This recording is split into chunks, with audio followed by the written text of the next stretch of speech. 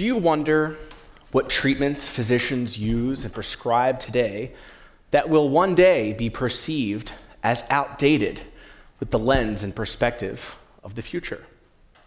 Who here has heard of Ignaz Semmelweis? Semmelweis was a German Hungarian scientist and physician in the 1840s who maintained some pretty controversial theories and ideas for his era. His wild idea that microscopic organisms, unseen by the naked eye, could serve as the source of spreading infection. He was committed to an insane asylum by his colleagues for his radical ideas, where he was beaten and ultimately died before Louis Pasteur was able to confirm germ theory shortly thereafter. Now, we are all well aware how hand washing and sterilization techniques can limit the spread of infection. It begs the question what sorts of treatments and medical discoveries exist today that are being dismissed and overlooked? What sorts of treatments do we currently accept as appropriate that will one day be rendered ineffective or even harmful? With current and modern perspective, many medical treatments of the past seem primitive, and in some cases, even barbaric. From the Neolithic era, trepanation was an act of drilling a hole in the skull, exposing the brain to air so that evil spirits could escape. Five centuries ago, barbers were serving as surgeons performing bloodletting for which the well recognized red and white barber pole that we see today derives its symbolism, representing blood and bandages. As recent as the 1940s, lobotomies were considered cutting edge treatment for mental illness, in which the founding physician earned a Nobel Prize.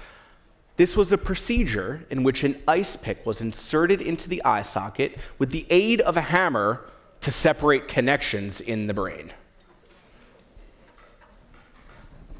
Early in my career as a neurologist, I was struck by how common it is for patients to present with functional symptoms of disease without any clear underlying cause to suggest a diagnosis.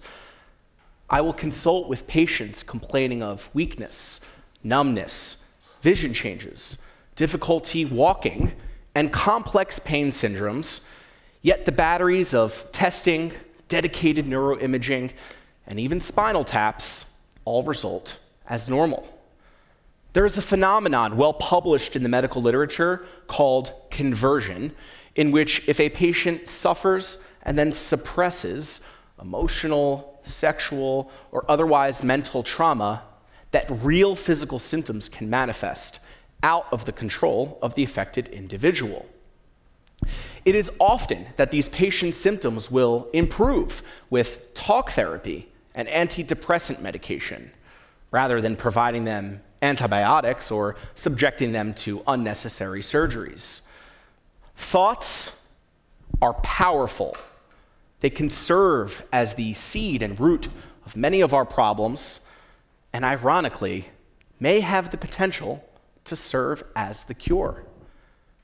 Is electroconvulsive therapy, essentially electrocution, really the best option we have at our disposal for tough to treat depression? Is there any other instance in medicine outside of the psychiatry realm where we invite the patient to commit to months and years of a particular treatment plan with only some having complete resolution and healing from that trauma? That standard isn't acceptable when we think about treating and promoting healing for a physical wound or injury, and yet we expect psychiatric patients to commit to years of cognitive behavioral therapy in the hopes that benefit is obtained. Talk therapy has been proven to break bad patterns of thought that lead to problems and learn new ways of thinking to solve problems and promote healing. But progress is slow. Imagine if we could harness the power of cognitive behavioral therapy, but accelerate the process and expedite results. As a doctor, I find it puzzling that modern medicine separates neurology and psychiatry into separate disciplines as if the brain is not one organ. We've learned so much about the body and other organ systems, and yet the brain serves as the final frontier. What will it take for society to consider mental health as a part of whole health?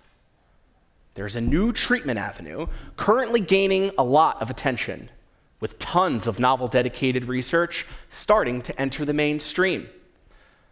Some perceive this medicine as controversial, while others regard it as pioneering. Regardless of where you stand with your initial impressions or preconceived notions, there is mounting evidence to support this group of therapeutics as having profound and long lasting benefits for our mental health. Let's talk about psychedelics.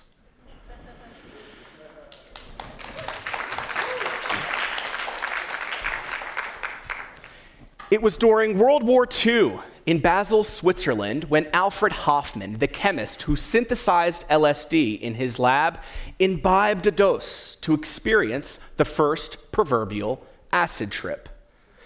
LSD is chemically very similar to the serotonin molecule, the feel good hormone. In the coming years, scientists would discover similar compounds that exist within nature, such as mescaline in the peyote cactus, and DMT found within tropical plants used in the psychoactive drink ayahuasca. It was 10 years from Hofmann's discovery that R. Gordon Wasson identified strains of psilocybin in the mountains of Mexico that would be recognized as the active chemical in magic mushrooms. These compounds, when ingested, can have effects on our brain for anywhere between 3 to 12 hours, depending on the drug and dose.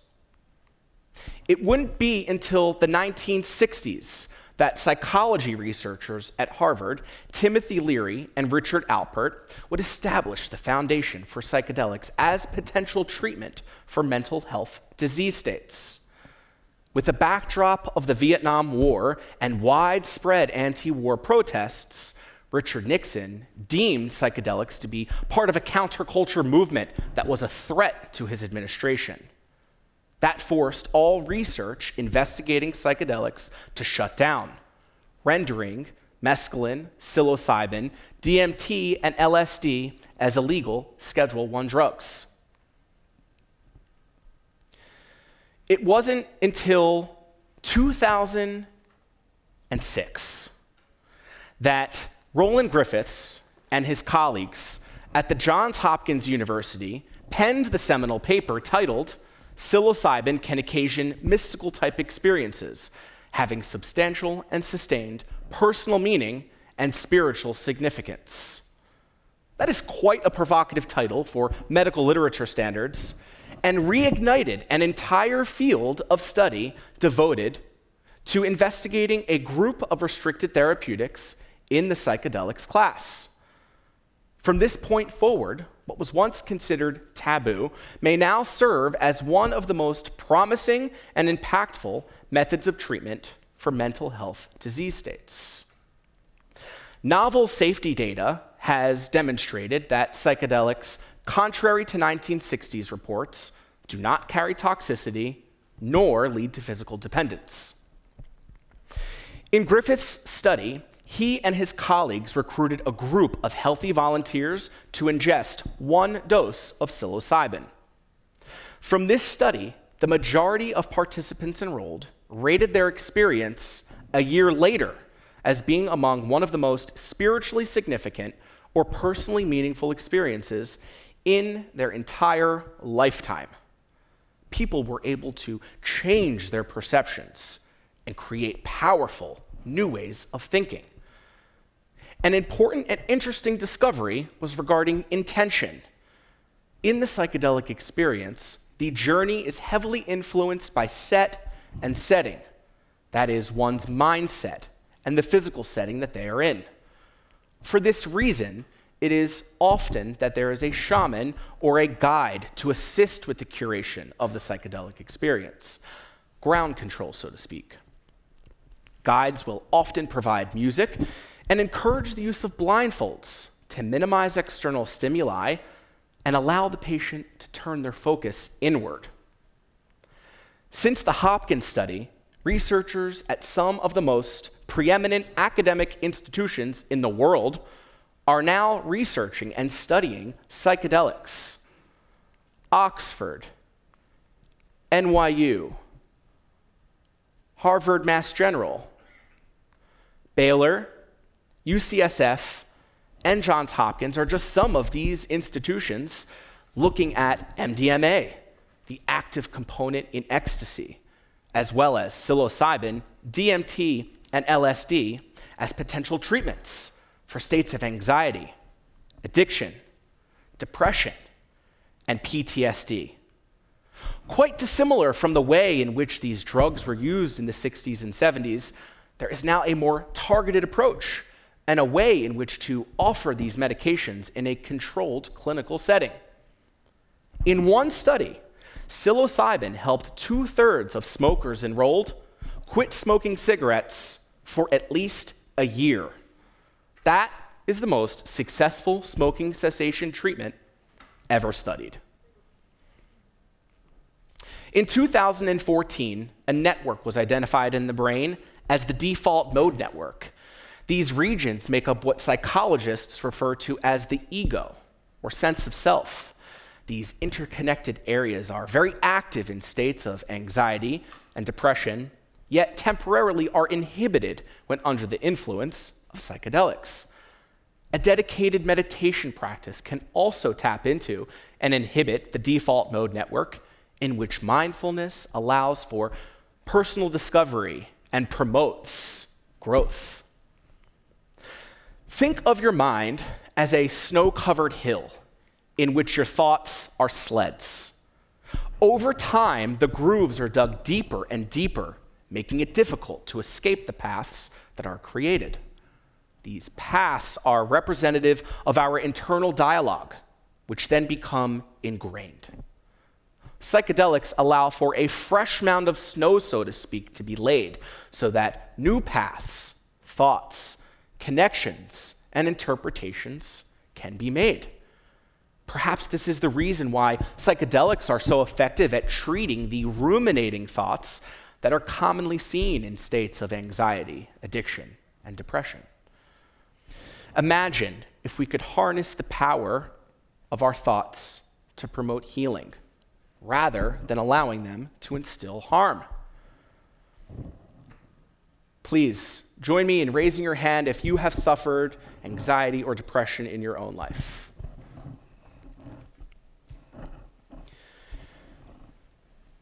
Integration is a critical component to maximizing the potential benefit garnered by the psychedelic experience. Once consciousness returns to its baseline state, the patient must work to understand and interpret what was encountered on the journey. The real homework starts then to try to apply what was learned and discovered to day to day life. The preliminary results from these drugs are fascinating and that the effects from just one dose can be so profound and long lasting. Patients are given an opportunity to have an experience in which their mind is open to possibility, the chance to work through a prior trauma, or see something with new light. That is very different from the current standard of care for treating mental health, which implements daily medication regimens and necessitates years of intense cognitive behavioral therapy. There is still much work to be done. These medications are not without risk and are not for everyone. Certain screening measures should be put into place to identify those who may be at risk for schizophrenia and other psychotic illnesses. As these drugs are powerful, they can also be dangerous, sending some off into the metaphorical deep end. There is also the real risk of interaction and harm if the patient is taking other medications that affect the serotonin system. For these reasons, we must encourage continued research to test proper dosing and to compare to the current standard of care. Can anyone guess the single biggest inhibitor to progress with psychedelics? I'll give you a clue. It's the same reason why progress in all areas of mental health and substance use have been slower compared to other areas of medicine. It's also the same reason why some of you who may suffer from anxiety or depression didn't raise your hand when I just asked. Judgment. Progress has been forced underground as the current medical, legal, and pharmaceutical industrial complex considers psychedelics as treatment there is a new space outpacing the legacy system for discussion, debate, and approval. Has anyone here heard of Web3 and the metaverse? With blockchain technology and NFTs, people are connecting behind anonymous avatars to build community through collections of art, technologically secure internet connections, and shared interests. NFTs like Psychedelics Anonymous is one such collection that attracts therapists, psychiatrists, mental health coaches, and other areas of expertise to collaborate anonymously to discuss the current state of psychedelics without boundaries of border or being constrained by the threat of perception. What does it say about our society that researchers, scientists, and physicians are using avatars for fear of reprisal if they are open about what they are advocating for. How would you perceive your doctor if you knew that they had suffered from depression? How would your perceptions change if you knew that your physician had experienced psychedelics in their personal life? Clearly, there is still taboo due to controversy and perception in the media dating back to Nixon's war on drugs. We are still in the nascency of understanding how the brain works. It is my hope that what is being fostered by Psychedelics Anonymous to shape perception, and through the scientific discoveries and evidence garnered by research at Johns Hopkins and the like, that we do change the way in which we think about mental health. What would the world look like if we didn't force the best minds underground with their best ideas?